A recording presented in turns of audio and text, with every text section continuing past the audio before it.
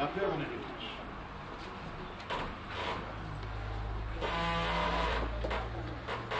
Ça fait partie de la. C'est un bruitage. Ingénieur en sang. Vous êtes quoi là Vas-y.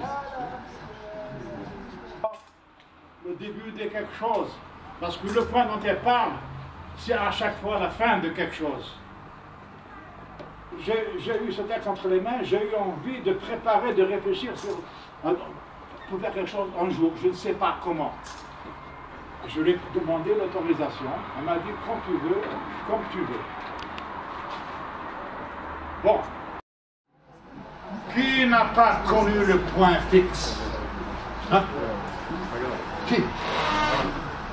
Cet endroit vrai ou imaginaire ce lieu sur lequel se fige notre émotion, des secondes, des minutes, des mois, des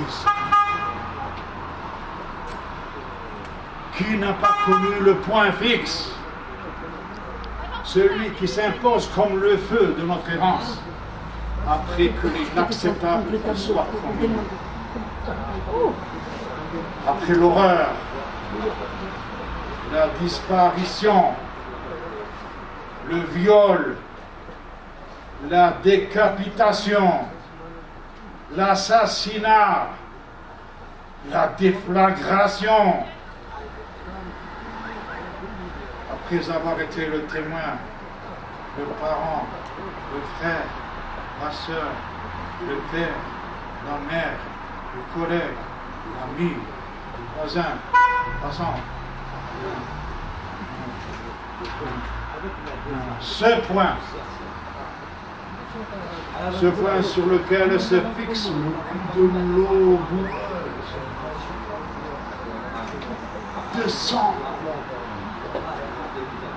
de goût de sang, de goût de bile,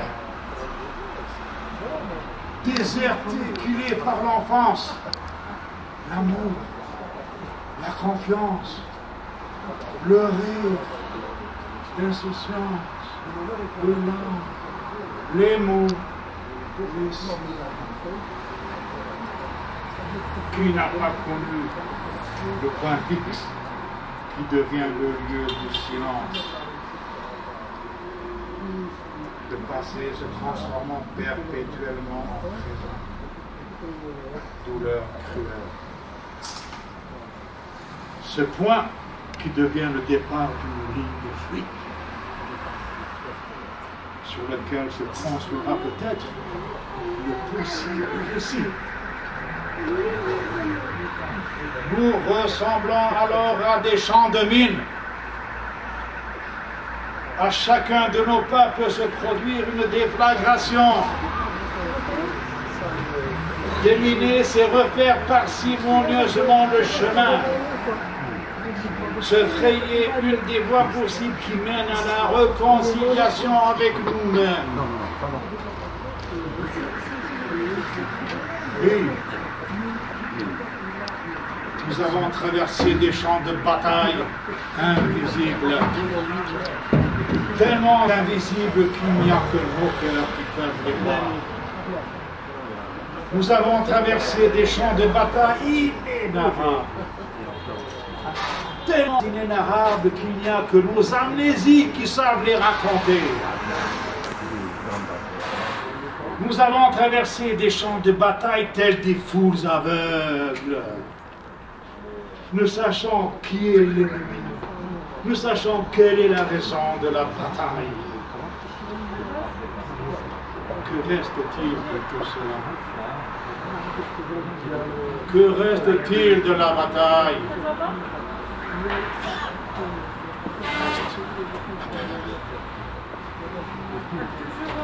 Incrusté dans le corps comme une mauvaise peau. Quel est ce bruit sourd qui ressemble tant à la terreur.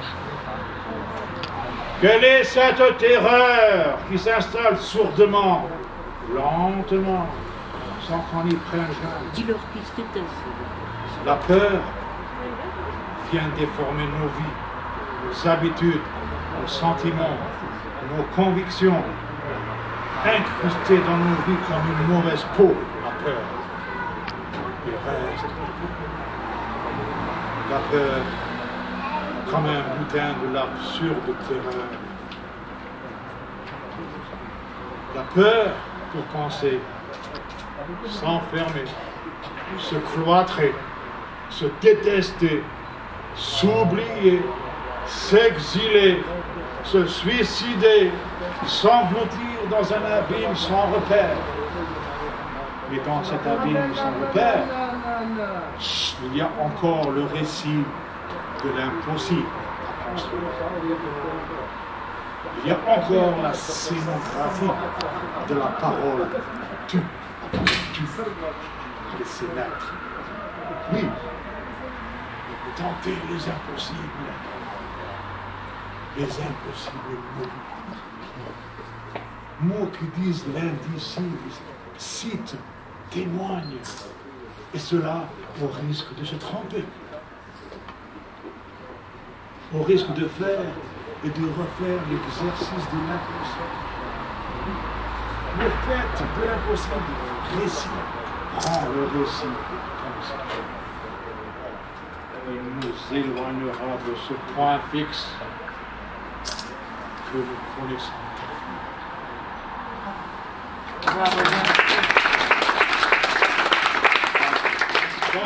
Bravo.